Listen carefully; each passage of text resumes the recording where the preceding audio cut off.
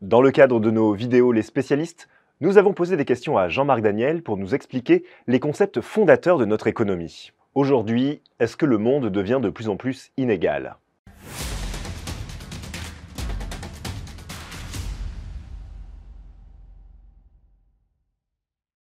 Non, je ne pense pas qu'ils deviennent de plus en plus inégales. Et même, il y a un certain nombre de pays qui sont en train, le monde en tant que tel, hein, qui sont en train de s'enrichir. Vous regardez le pays qui a le plus de croissance en ce moment dans les grandes économies et les économies, c'est l'Inde. Et donc, euh, l'Inde a une croissance de 7,2% en ce moment. Et l'Inde a dépassé en PIB le Royaume-Uni. Alors, euh, vous me direz, oui, oui, mais enfin, il y a 64 millions de Britanniques et il y a 1 euh, milliard 430 millions d'Indiens. Mais il y a 10 ans, le rapport des populations était le même. Et le PIB anglais a moins augmenté que le PIB indien. C'est-à-dire que la différence de niveau de vie entre les Anglais et les Indiens s'est réduite. Et donc, euh, alors après, on dit, oui, mais il y a de plus en plus de milliardaires la croissance du nombre de milliardaires, elle s'est faite beaucoup en Chine.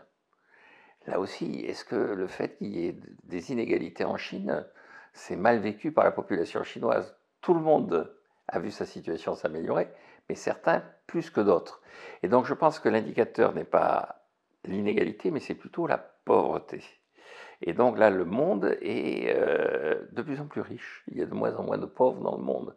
Après, ça ne veut pas dire autant que tout le monde est, est satisfait de cette situation. Là aussi, je parlais de Fourassier et des Trente Glorieuses. À la fin des Trente Glorieuses, il dit, en 1945, quand je suis rentré au commissariat au plan, on demandait aux gens de combien vous avez besoin pour être heureux en revenus supplémentaires. Et la moyenne était 30%. Avec 30% de revenus supplémentaires, je vivrais correctement. Il dit, nous sommes 30 ans après, le revenu s'est amélioré considérablement et on a largement dépassé les 30%.